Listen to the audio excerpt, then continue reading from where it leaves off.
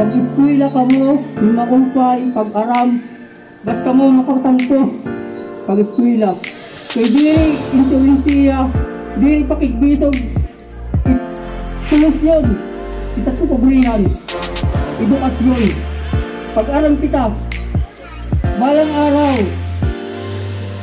mamamay ada, umbawa, pag-graduate, kamay ada,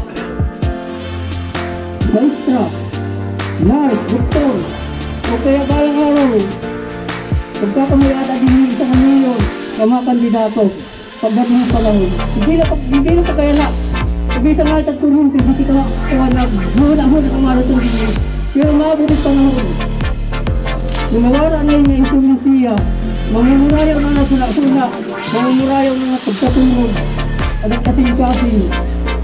Pero di kahit ma, tutuan na ma, susunod hindi kita magkaulong sa pagkamingawan. Pa- Paano sila na nila?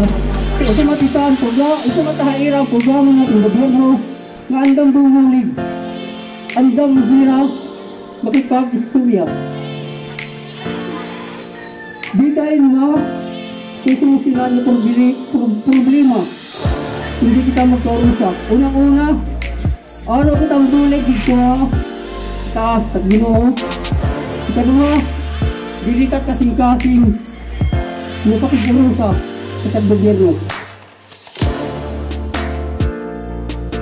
Hanguna, nakita namin kami ng polis, halit yung una ako yung naghilaan. Ha? Nadiri kami di arms squadron. Parehas namin na magkamay-anak kita maupay na relasyon para itaton kamingaw.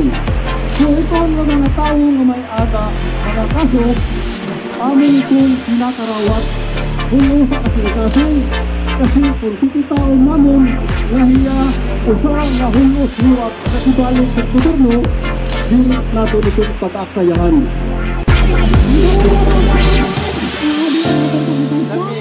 vaccination. College Adi, shopping.